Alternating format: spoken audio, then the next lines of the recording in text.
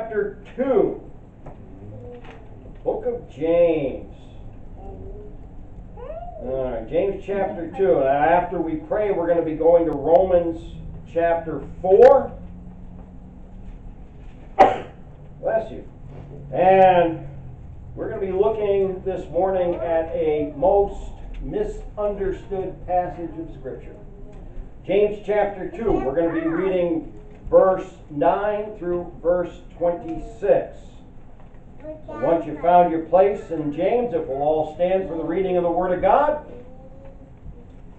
James chapter 2, beginning at verse 9 and down to verse 26. And the Word of God says, But if you have respect to persons, you commit sin, and are convinced of the law as transgressors. For whosoever shall keep the whole law and yet offend in one point, he's guilty of all. For he that said, Do not commit adultery, said also, Do not kill. Now, if thou commit no adultery, yet if thou kill, thou art become a transgressor of the law. So speak ye, and so do, as they that shall be judged by the law of liberty. For he shall have judgment without mercy that has showed no mercy, and mercy rejoiceth against judgment. What, pro- what doth it profit, my brethren, though a man say he hath faith and have not works? Can faith save him? If a brother or sister be naked and destitute of daily food, and one of you say unto them, Depart in peace, be ye warmed and filled, notwithstanding you give them not those things which are needful to the body, what doth it profit? Even so, faith, if it hath not works, is dead, being alone. Yea, a man may say, Thou hast faith, and I have works. Show me thy faith without thy works, and I will show thee my faith by my works. Thou believest that there is one God. Thou doest well. The devils also believe and tremble. But wilt thou know, O vain man, that faith without works is dead? Was not Abraham our father justified by works when he had offered Isaac his son upon the altar? Seest thou how faith wrought with his works, and by works was faith made perfect? The scripture was fulfilled, and the scripture was fulfilled, which saith, Abraham believed God, and it was imputed unto him for righteousness, and he was called the friend of God. You see then how that by works a man is justified and not by faith only. Likewise also was not Rahab the harlot justified by works when she had received the messengers and had sent them out another way. Whereas the body without the spirit is dead, so faith without works is dead also. Holy Father, I pray and ask again for your blessings, Lord, upon this message. And I pray, Lord, for the guidance of your indwelling Holy Spirit, that, Lord, that all that is said and done here this morning is done according to your purpose and will, and to the glory of yourself and to your Son, Jesus Christ, in whose name I pray and ask this, Lord. Amen. You may be seated. Go to Romans chapter 4. No, your preacher hasn't gone nuts. well, yeah.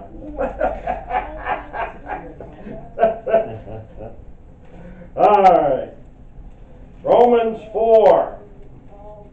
We're going to do a lot of reading here. Romans 4, 1 through 25. Write down the entire chapter and then the first verse of chapter 5. All right, what shall we say then that Abraham our father, as pertaining to the flesh, is found? For if Abraham were justified by works, he hath whereof to glory, but not before God. For what saith the Scripture? Abraham believed God, and it was counted unto him for righteousness. Now to him that worketh is the reward not reckoned of grace, but of debt. But to him that worketh not, but believeth on him that justifieth the ungodly, his faith is counted for righteousness.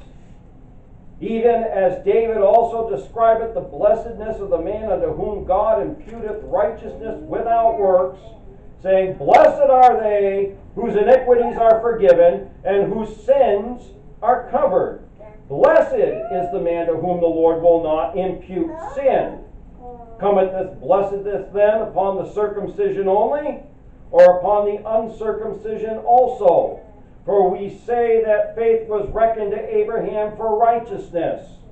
How was it then reckoned? When he was in circumcision or in uncircumcision? Not in circumcision, but in uncircumcision. And he received the sign of circumcision, a seal of the righteousness of the faith which he had yet being uncircumcised, that he might be the father of all them that believe though they be not circumcised, that righteousness might be imputed unto them also. Praise God.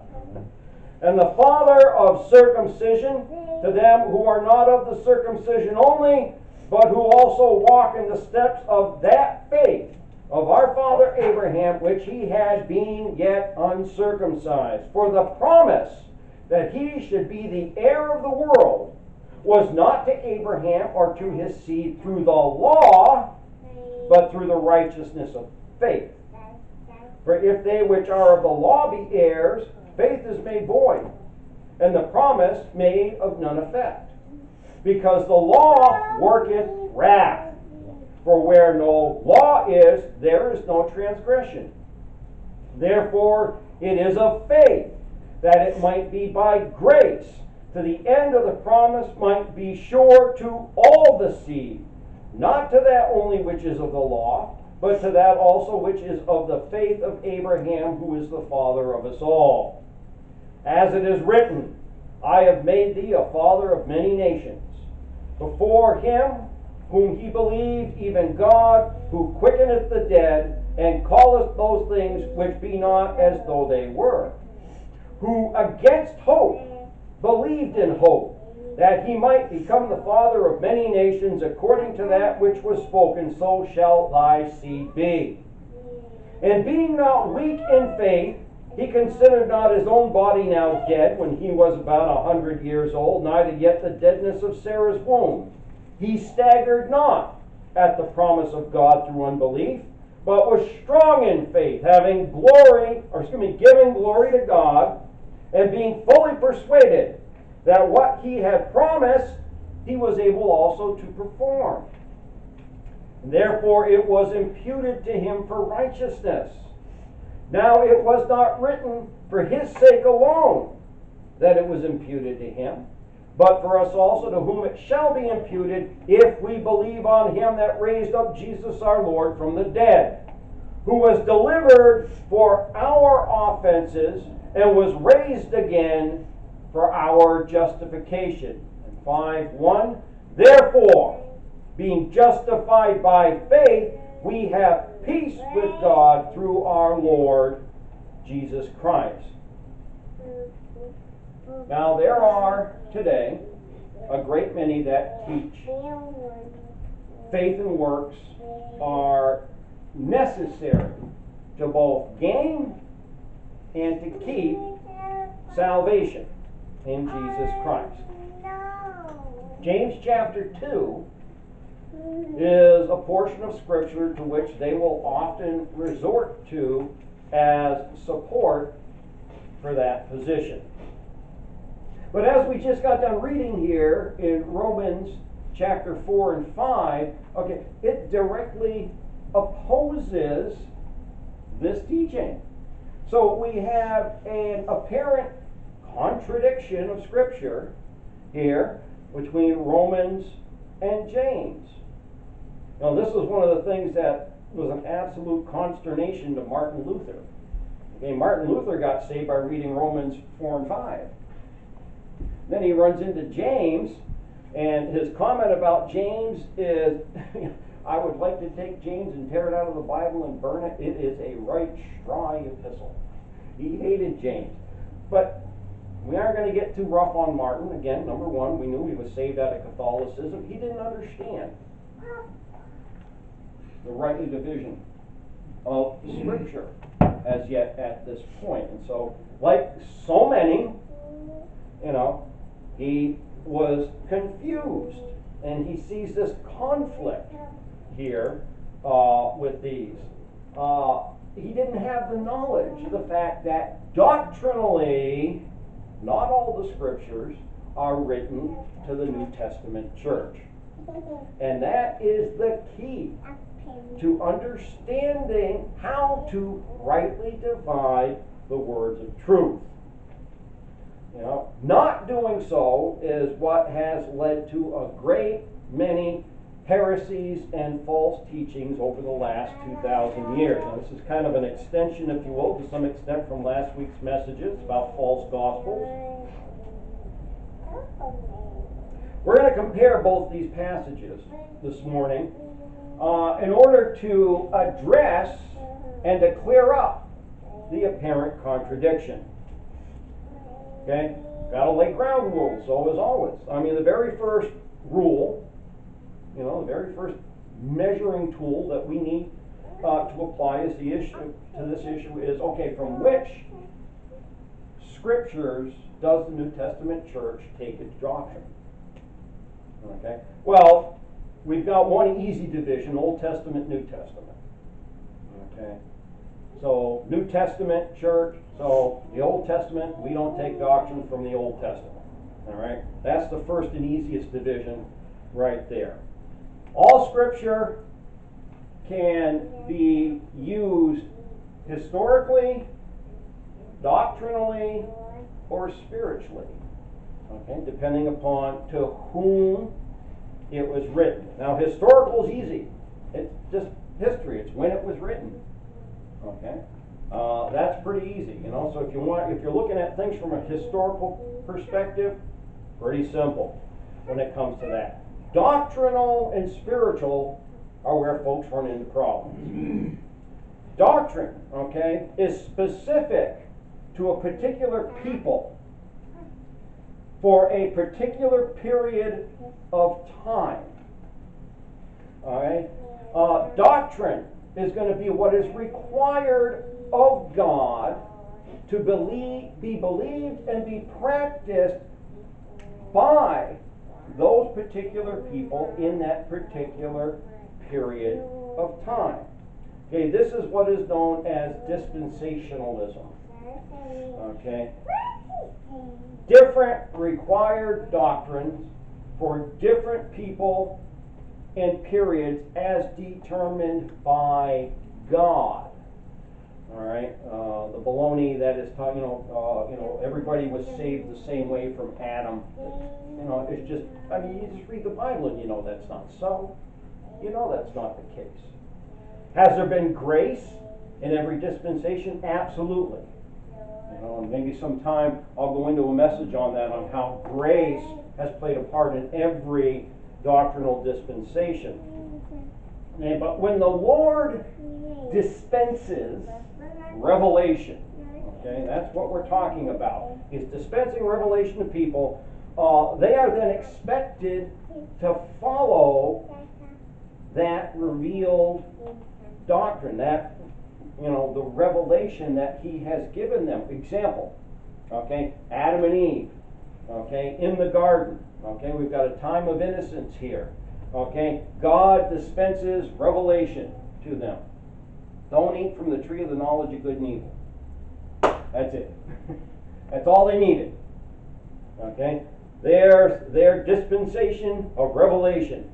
Don't eat from that tree. all right?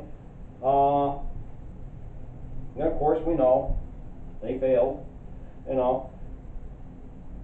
But that's exactly how it, you're going to see the Bible as we go down, and, and we've done this before in breaking it down and showing these things. Okay, the New Testament church must take its doctrine from within the New Testament of the Bible. Okay? So, I mean, again, pretty simple. Spiritual, okay, there's the other place where folks get messed up, though, is spiritual application. Okay, spiritual application can be taken from the entirety of the Bible. Uh, as all Scripture has been inspired of God, and we can learn from it and can apply it to ourselves in His spiritual lessons. Okay, 2 Timothy 3.16, all Scripture is given by inspiration of God and is profitable. It can be profitable for doctrine, profitable for reproof, profitable for correction, profitable for instruction in righteousness. Okay, we can go through and do a study, and we've done this in the past, on the tabernacle. Okay, that God had Moses assemble in the wilderness, and we can pull a lot of spiritual truths out of there, but we're not under the law. We don't look at that and say, okay, we've got to, you know, bring a lamb or a bullock or a goat or, or whatever it is and go and no, that's not okay. That that's taking something that's doctrinal for a particular people in a particular point in time and trying to apply it to the wrong people in the wrong time. Can we take spiritual lessons from it? Absolutely. Just the same way as we can take a spiritual lesson from don't eat from the tree of the knowledge of good and evil. Okay, God says leave something alone, leave it alone. Because if God says, if you do this or don't do that, this is what's going to result, guess what? That's what's going to happen. Guaranteed. Okay? All scripture contains doctrine, but not all doctrine uh, is for all people all of the time. And that's where you run into false doctrine and heresy. Okay? Good example physical circumcision. Okay, we were just talking about that there with Abraham. Okay, it was given to Abraham as a sign of God's covenant with Abraham and with his descendants. Okay? It was reinforced with the Jews under the law of Moses.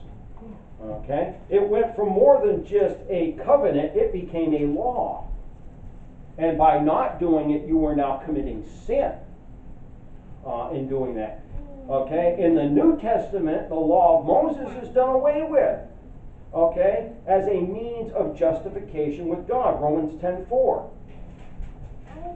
Romans 10.4. Uh, for Christ is the end of the law for righteousness to everyone that believeth. Right? So it does it's not something doctrinal for us. Physical circumcision is also, therefore, done away with for us. Uh, Romans 4, uh, we read, we just went through the whole chapter, Romans 4, 8 through 13. Okay, and here it talks about circumcision and how it was given and why it was given. Now, if we go over to Ephesians, though, chapter 2,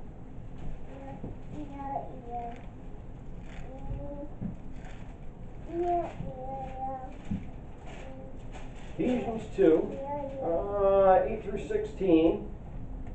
For by grace are ye saved through faith, and that not of yourselves, the gift of God, not of works, lest any man should boast. For we are his workmanship created in Christ Jesus unto good works, which God hath before ordained that we should walk in them. Wherefore remember that ye, being in time past Gentiles in the flesh, who are called uncircumcision by that which is called the circumcision in the flesh made by hands, okay, that at the time ye were without Christ, being aliens from the commonwealth of Israel, and strangers from the covenants of promise, having no hope and without God in the world. But now in Christ Jesus, ye who sometimes were far off are made nigh by the blood of Christ.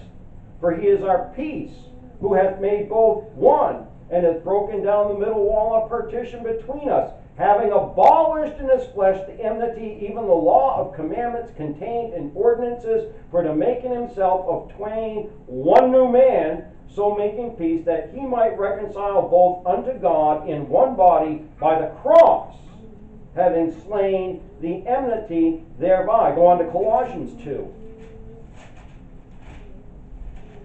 Verses 10 through 14.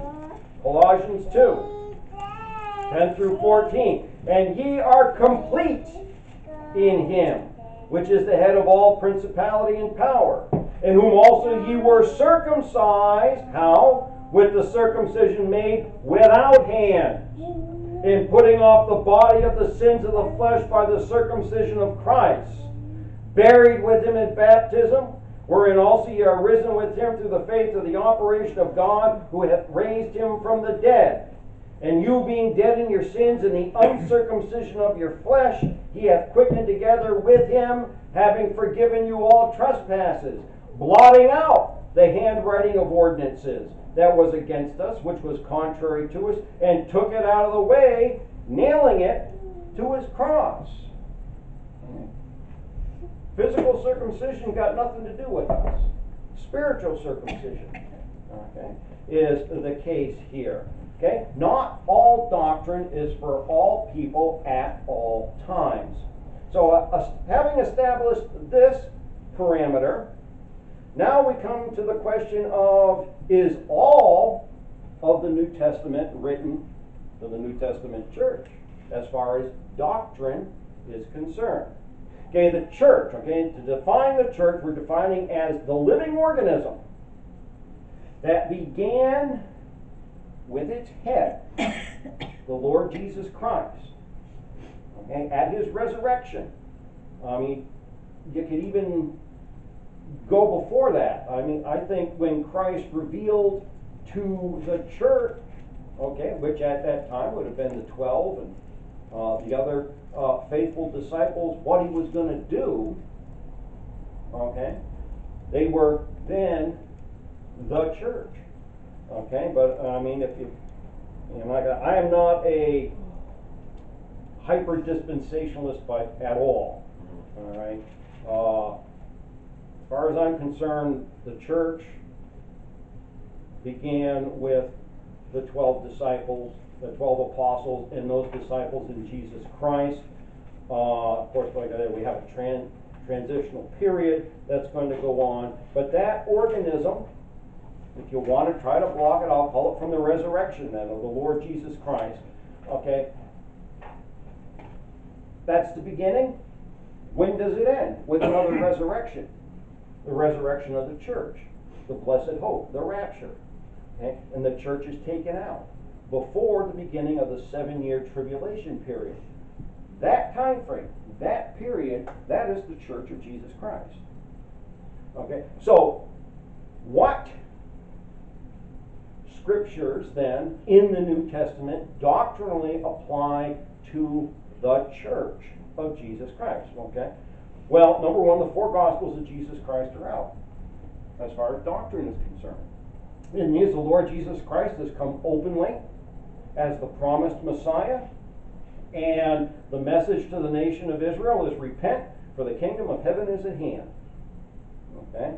Uh, but go to Matthew just for a minute. 15. This is why I say I am not a hyper dispensationalist.